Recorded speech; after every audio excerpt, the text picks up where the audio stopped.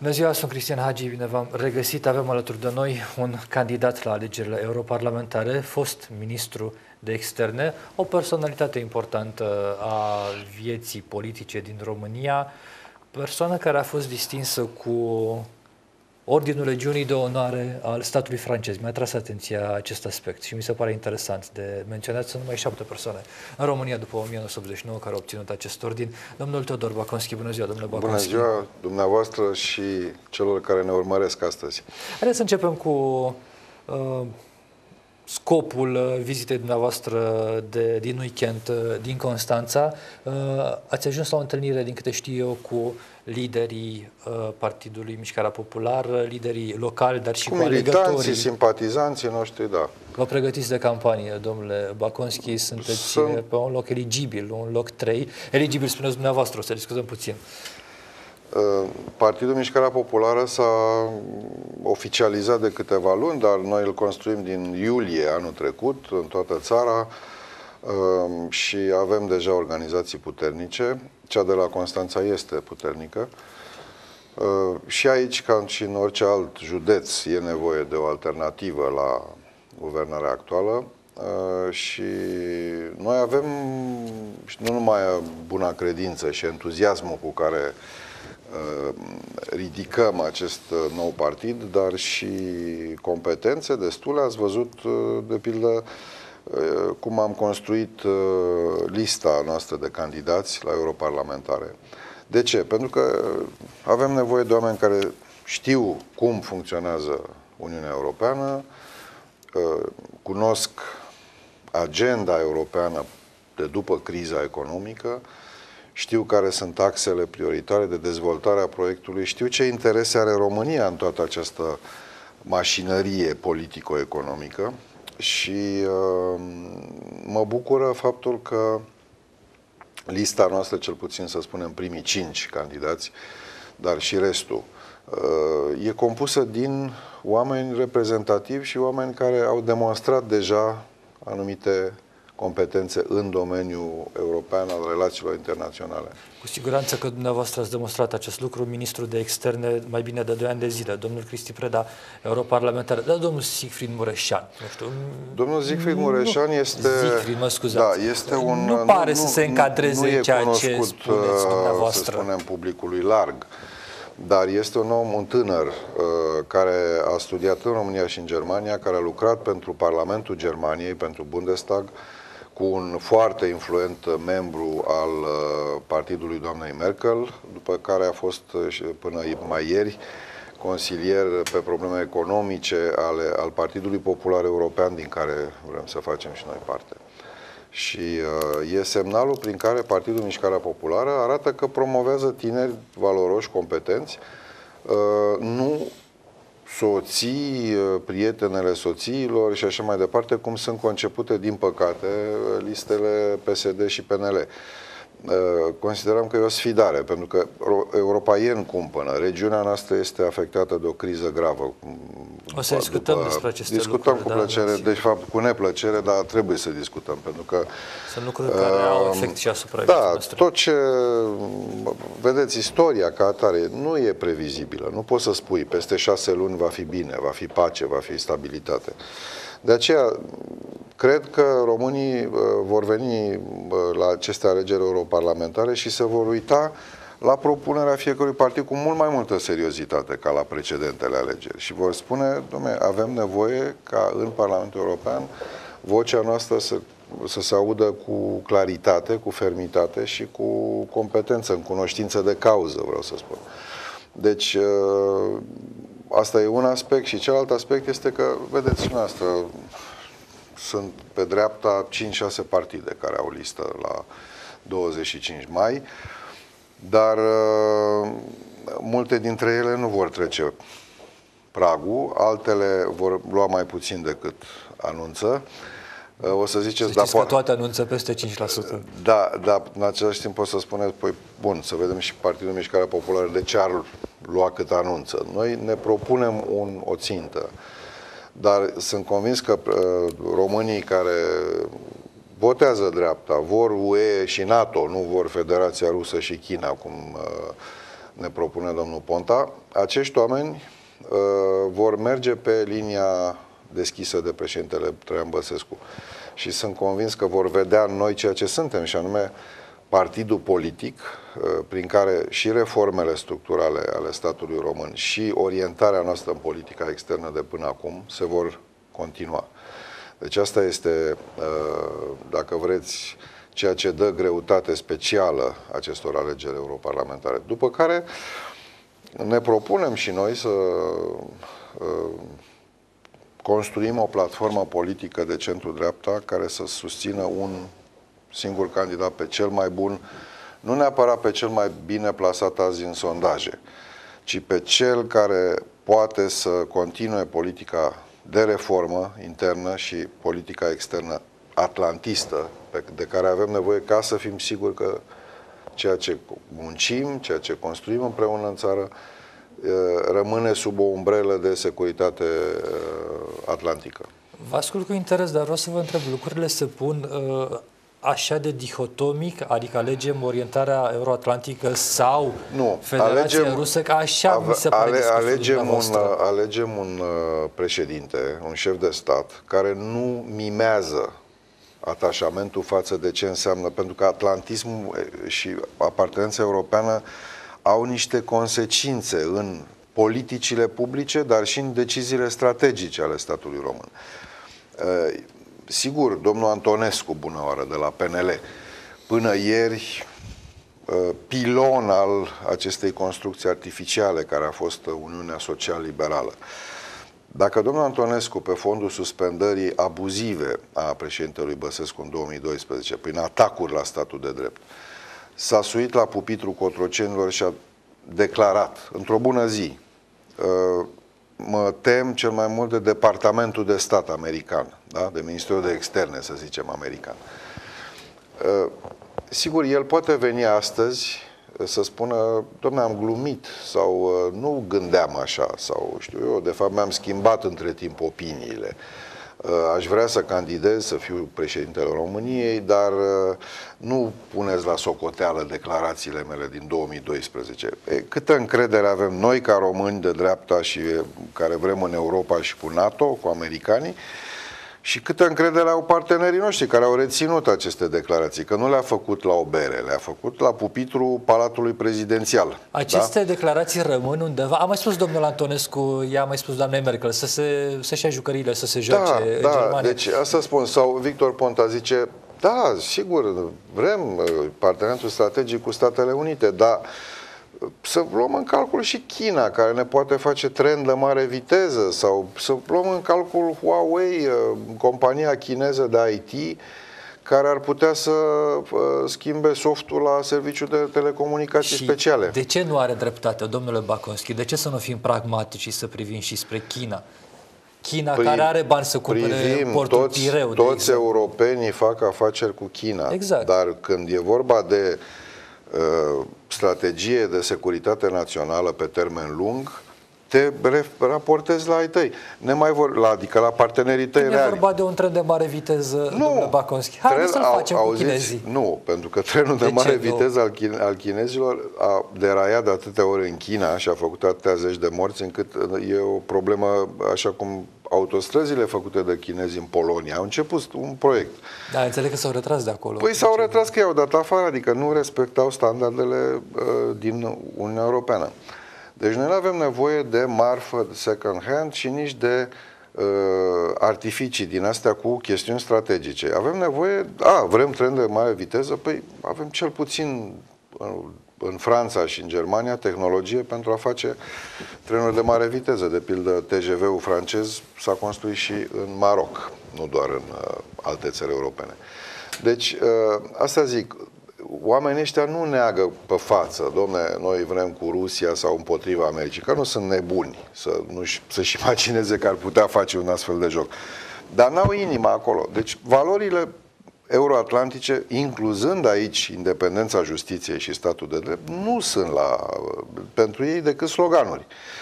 Ori noi avem nevoie de un viitor președinte care, prin tot ce a făcut, prin tot ce a spus și a comis ca om politic, e credibil, în ochii partenerilor noștri și în ochii românilor care nu vor ca România să intre într-o derivă sau într-o oscilație geopolitică, știți? Sunt cum curios. e Ucraina sau cum a fost și este într-o anumită măsură Republica Moldova. Noi Sunt suntem... curios dacă l-ați găsit, domnule Baconski, pe acest viitor președinte, știți dar o că- să vă rog să-mi spuneți Da. după o scurtă pauză de publicitate, da? De acord. Am revenit în platou, domnul Teodor Baconski alături de noi, uh, vicepreședinte PMP, dacă nu mă înșel, fost ministru de externe. Discutam despre figura viitorului președinte, așa cum o vedeți dumneavoastră, domnule Baconski. Cine de pe dreapta? Sunt mai mulți uh, politicieni de dreapta care au zis vreau să fiu președinte. Bun, stau fiecare dintre ei într-un, au un procent mai mare sau un mic de simpatie, de susținere, dar uh, eu aș zice că în împrejurările speciale în care criza din, uh, dintre Ucraina și Federația Rusă ne-a, ne-a plasat, ar trebui de data asta să nu uh, plecăm de la o persoană care vrea să ajungă președinte și să vedem dacă partidele îl sprijină sau nu. Să plecăm de la portretul președintelui, așa cum de la afișa postului. Adică de la ceea ce trebuie să facă un președinte al unui stat membru UE și NATO și să vedem cine se potrivește cu acest portret. Uh, De altfel, ăsta e demersul responsabil în tot ce faci. Dacă numești pe cineva într-un guvern, dacă numești pe cineva în, în orice funcție publică, ar trebui să, cu toții să pornim mai întâi de la ideea, doamne, nu uh, Gigel, Vasilică, Mitică e prieten cu șeful de partid, îl pro- propunem acolo și îl lăsăm acolo indiferent ce faceți. Ne gândim, domne, ăsta e bun la Ministerul Transportului, ăsta e bun la externe, ăsta e bun la cultură, ăsta e bun la agricultură. Uh, Aici cred că situația uh, tensionată și greu de prevăzut în care ne aflăm, pe plan regional, uh, ar trebui să ducă și la o schimbare de cultură politică, adică în partide să se impună până la urmă această, acest primat al uh, adecvării unei propuneri la misiunea pe care uh, o are de îndeplinit acel om. Noi am făcut asta cu europarlamentarii, adică m-ați întrebat de Siegfried Mureșan și n-am apucat să vă spun uh, ce cu el. Da, mi-a spus pe scurt, dar vă rog, să Uh, Bun, continuați. la fel și în ceea ce mă privește, cu toată modestia, totuși am demonstrat în 15 ani ca ambasador al României, ca reprezentant al României, ca șef al Ați fost diplomației. ambasador în Vatican. Am fost la în- Sfântul Scaun, la Lisabona, la Paris, apoi secretar de stat. Deci e o carieră muncită în care acumulezi experiență, în care ai mii de contacte externe, în care știi cum se fac lucrurile. Uh, E bine, la fel, Funeriu, e și el un, uh, un ministru care a fost foarte performant, Daniel Funeriu. Uh, A fost și el o scurtă perioadă europarlamentar. Deci n-am venit în fața românilor cu o listă scoasă din buzunar, încropită, ci cu o listă de candidați adecvați la misiunea de a reprezenta uh, nu doar uh, Partidul Popular European ca grup politic, ci și România în, uh, la Bruxelles și Strasbourg. Doamna Elena Băsescu, de ce nu se mai regăsește pe această listă, domnule Baconski? Din câte știu, ar fi dorit să candideze din nou, avea Elena, experiență. Elena Băsescu a, a fost un europarlamentar bun, decent, care și-a făcut foarte bine treaba. Dar a Stați un înțeles... pic, să, să, să fie foarte clar. A fost Da. un europarlamentar bun și decent, spuneți, da? Da, categoric. Dați-mi un exemplu pe care l-a făcut bine și decent în, uh, Euro- în uh, Parlamentul European. Uh, Domnia sa și-a prezentat bilanțul de europarlamentar singură, nu trebuie să-i fac eu acest bilanț. L-a făcut public. Vă ceram numai un exemplu, dacă puteți să-mi spuneți din acest Da, de bilanț exemplu, public. s-a ocupat pe linia, inspirată fiind de accentul pe care președintele l-a pus pe relația România-Republica Moldova, s-a ocupat uh, în Parlamentul European, de câte ori a fost vorba de Republica Moldova, de acest subiect. Un lucru pe care l-a făcut și doamna Macovei și văd Foarte că am intrat bine, un pic în să conflict. știți că nu e monopolul cuiva. Categoric. Nu, să zicem, uh, Bine, lobby-ul pentru Republica Moldova. Am notat exemplul, domnule Baconski. Dar ce vreau să vă spun este că uh, am apreciat acest gest, pentru că e un, un gest de sacrificiu în sensul că a plecat de la PDL, n-a mai rămas nici urmă de Traian Băsescu în PDL cu această ocazie, uh, a intrat în Partidul Mișcarea Populară, dar a înțeles și că uh, adversarii președintelui și ai uh, Partidului Mișcarea Populară vor ataca lista din, această, uh, din acest motiv. Și a decis foarte înțelept și uh, matur. Altruist, înțeleg, nu? Eu zic altruist pentru cauză. Adică a, a spus, uh, mai bine fac un pas înapoi ca să nu expun la, la critici această listă. L-a făcut și uh, iată, acum se vede uh, de o mie de ori mai clar pentru oricine că Uh, PSD și PNL au făcut o listă de rubedenii, pur și simplu, ceea ce dispreț, arată dispreț și față de alegători, dar și față de misiunea Parlamentului European. Pentru că în momentul în care, fără nicio jenă, îți pui uh, propria soție, tu șef de partid sau de guvern în cazul domnului Ponta. Soție care are experiență europarlamentară. Da, da nu știu da, prin ce s-a remarcat. Uh, la de... Mă rog, nu a luat-o de la nu. o funcție oarecare. Nu. Domnul Ilie Sârbu și-a introdus fica în PSD și în politică, iar fica devenită soția domnului Victor Ponta este pusă pe listă, în primul rând, în A, această nu, nu a fost calitate. același, același principiu și în cazul Elenei Băsescu atunci când a candidat din partea nu, știți ce se întâmplă? Care este diferența, un, un, un descendent, da? fiu, fică, poate urma uh, sau poate dori să urmeze cariera uh, părintelui său politician. Mai avem niște exemple. Și fiul lui Sarkozy e în UMP. Uh, bun, într-o zonă uh, nedemocratică, dar care e și ea elocventă, Marine Le Pen este succesoarea lui Jean-Marie Le Pen în Franța. Însă e, în primul rând, că în 2009 Elena Băsescu a candidat independentă, n-a asumat-o PDL. S-a spus a ajutat-o PDL. foarte tare de Bun, se prea poate. Filialele PDL da, care dar a avut, a avut și atunci decența de a nu apărea pe o listă a partidului care, uh, pe care președintele îl sprijinea în acel moment. Deci sunt Aici niște, e diferență, spuneți, Sunt da? niște diferențe, nu, sunt niște diferențe de, de stilistică, de abordare. De, e, a fost bun simț și atunci, cu atât mai mult acum, când, repet, uh, uh, Elena Băsescu a făcut pasul înapoi tocmai pentru ca lista noastră să nu fie atacată pe motiv de nepotism. Ori nu puteți să mai negați în acest moment, indiferent cum vedeți lucrurile, că lista PSD și PNL sunt minate, listele astea sunt minate de nepotism. Despre asta e vorba. Adică de faptul că nu ajunge pe ea un Siegfried Mureșan, tânăr român eurocrat, bine, bun cunoscător al dosarelor uh, europene, uh, care este în felul ăsta uh, ajutat de Partidul Mișcarea Populară să, să se afirme, ci ajung neveste și prietenele nevestelor. Nu puteți să-mi spuneți că, bun, nu discutăm acum de un cap de listă ca Norica Nicolai, de exemplu, bun, ci discutăm de prezența cel puțin soția primarului de la sectorul 6, e acolo, soția domnului Ponta e acolo, soția domnului Antonescu e acolo. Deci asta arată un, o, un cinism fi, față de electorat fără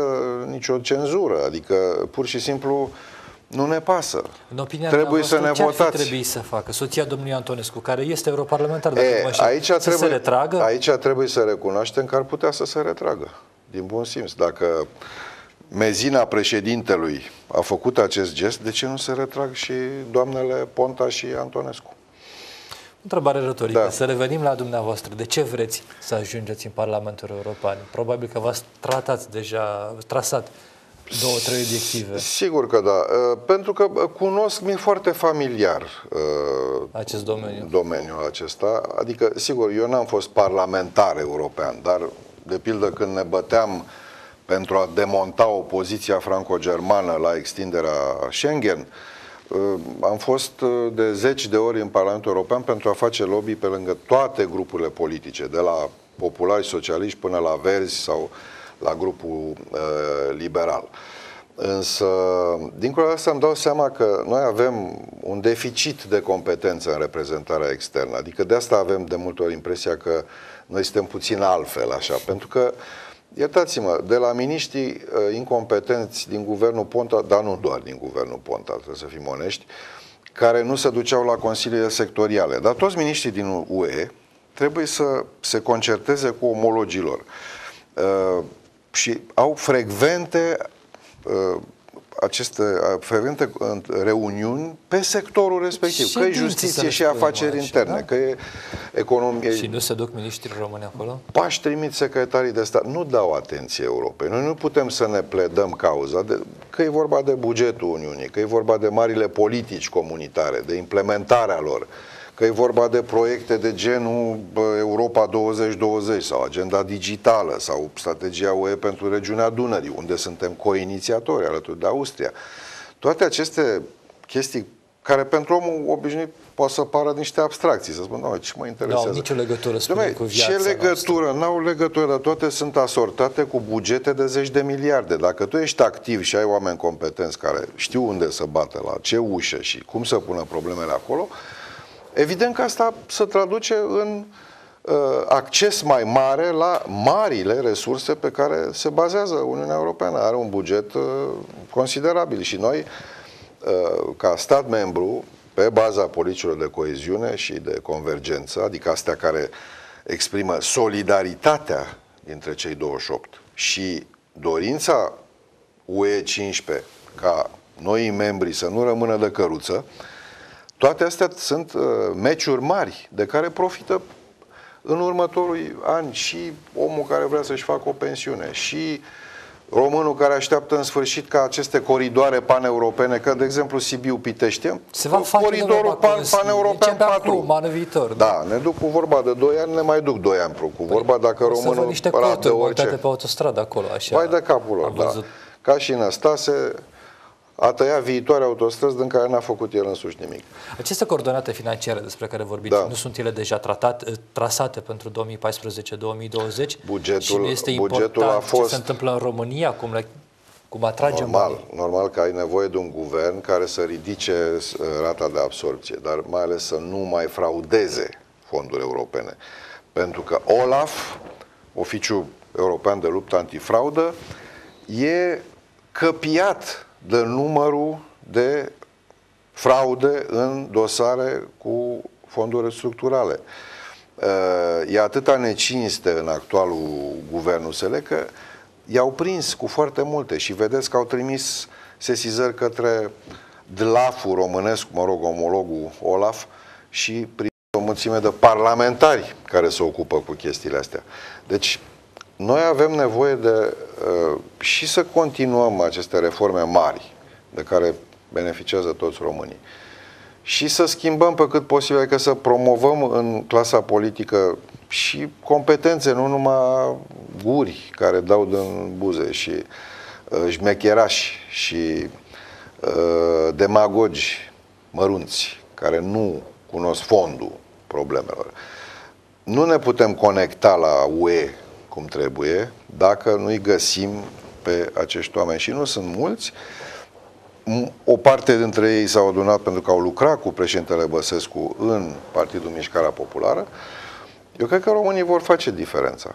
Și va fi și un test de calitate, de discernământ colectiv pentru 25 mai. Adică, oricum mai spune, domne, te uiți pe cine propun pe primele câteva poziții partide, că niciunul nu va lua din cei 32 de europarlamentari pe care avem, niciun partid. Bun, PSD-ul va lua uh, numărul cel mai mare pentru că e uh, Partidul cel mai mare. Partid, singurul partid de stânga, deci un partid fără concurență uh, și care are un bazin de electorat captiv, clar. Cei mai săraci români pe care îi ține tot în sărăcie și pe care s-a învățat să îi jupoaie de voturi în schimbul unor pomeni o la patru ani sau mai des, cum se întâmplă și aici la Constanța. Uh, e păcat că nu... Uite, mă uitam la Siegfried Mureșan. Uh, s-a întors, el lucrează de câțiva ani în Occident, ca să zic așa. Adică de acolo de unde suntem și noi. Noi suntem în Occident acum. Nu mai suntem în lagărul socialist, nu mai suntem în... Suntem într-o margine a Europei. Nu, suntem într-o margine a Occidentului, dar suntem Occident. Mă uitam la prospețimea lui, la, la încrederea pe care s-au obișnuit să o aibă în oameni, pentru că asta e normalitatea în statele membre. Eu îmi doresc, măcar pentru copiii mei și ai altora, ai oricărui rom, oricărui români, să construim totuși o atmosferă politică, instituțională, în care uh, să simțim, să nu mai simțim diferența asta de ambianță, dintre ce se întâmplă la noi și ce se întâmplă în restul Europei. Ați adus aminte de Constanța. Cum vi se par lucrurile în Constanța? Vorbim aici despre o republică mazăre sau vorbim da, despre mazăre, un oraș, mazăre, un oraș ca oricare altele nu, care nu. încearcă să se dezvolte? Nu. Uh, toate județele roșii administrate de PSD non-stop sunt uh, avariate economic și căpușate de această mafie administrativă, politică, cu clientela lor, dar nu spre binele comun al constanțenilor, să spunem. Portul Constanța trebuia să facă din oraș și din județ unul dintre cele mai bogate din România. Păi, primăria Constanța vrea acțiunile majoritare ca să facă Da, ca să mai subvenționeze gigacaloria. O port. minciună, da.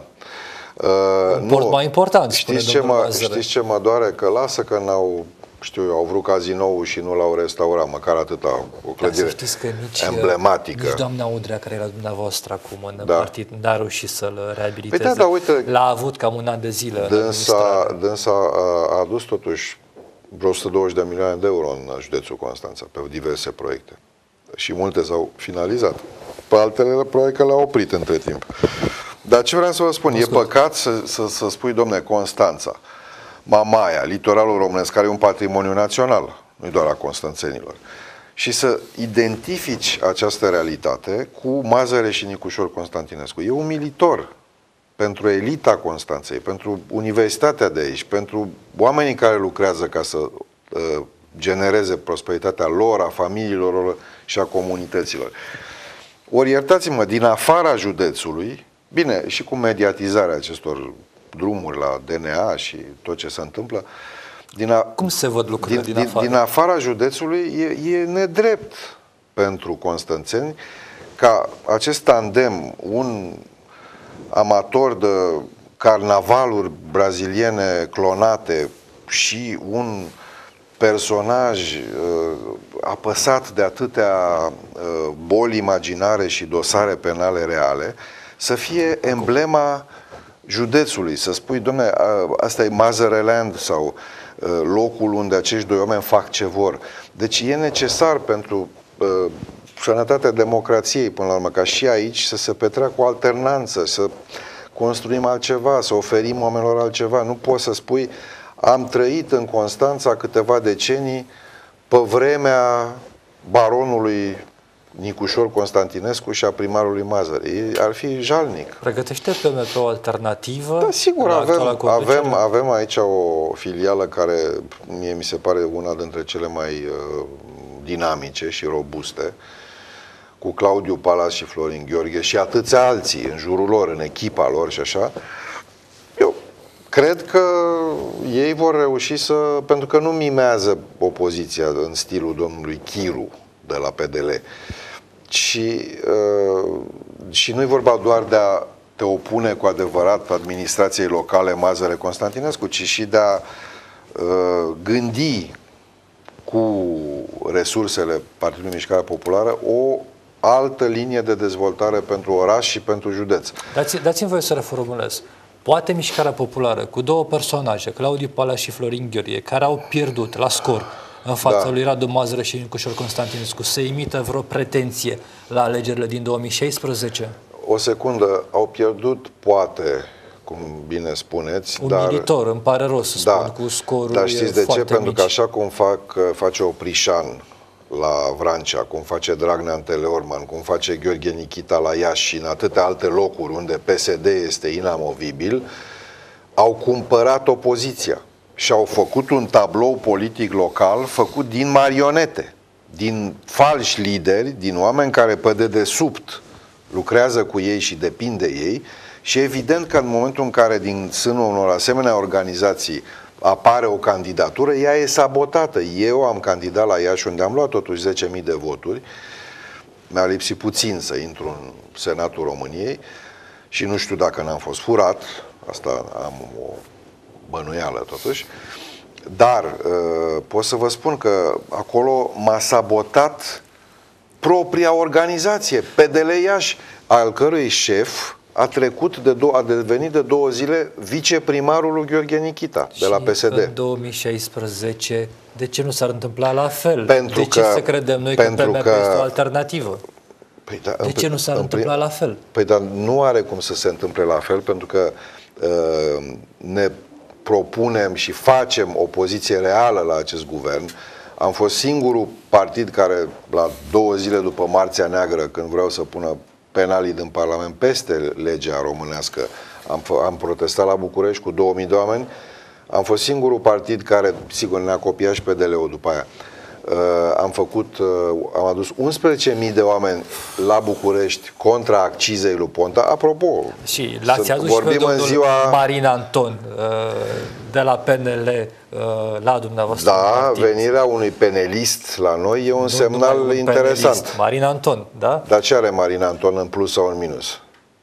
Este un personaj controversat uh, pe care oamenii îl Iertați-mă, cunosc aici. uh, uh, controversele în politică sunt uh, Suntem pe curente. Numai justiția stabilește dacă un politician e sau nu un om Aici uh, aveți integru. dreptate, domnule Baconski. Uh, Ca de altfel și pe parcursul emisiunii. Chiar suntem pe final. Uh, Vă mulțumesc pentru Și prezență. eu vă mulțumesc și vă aștept îi invit cu- pe constanțeni să aleagă cu discernământ și cu tot curajul. Vă pe aștept și cu 25 altă mai. ocazie. Domnule Baconski, mulțumesc că ne-ați urmărit. Rămâneți cu România TV.